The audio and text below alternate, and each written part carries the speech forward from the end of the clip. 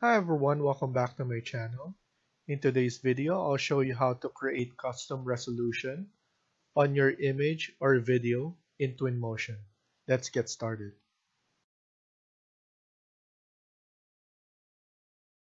So to create a custom resolution, we need to go to media first and go to image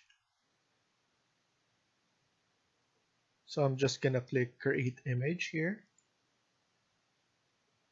So we have our image 5. Click more and then click format. So output size, if you click this, we are at 2K and it also has 4K. If you click custom,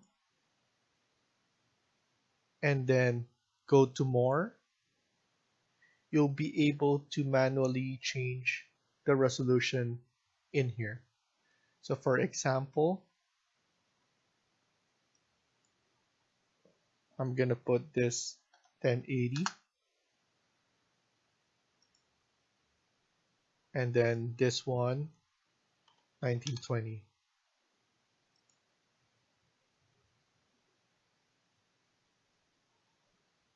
So let's go back to media. And for the video,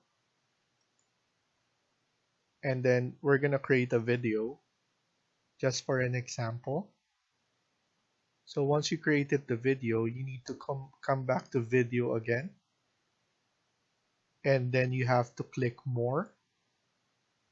And then here, we also have 2K, 4K, but you have to click custom and then click more and then here you'll be able to change it manually as well.